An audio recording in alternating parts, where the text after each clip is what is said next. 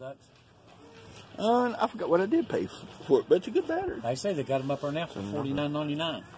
Uh, uh, uh, here, they no, was- I paid eighty for that. Okay. Steve said, remember Steve lived over here?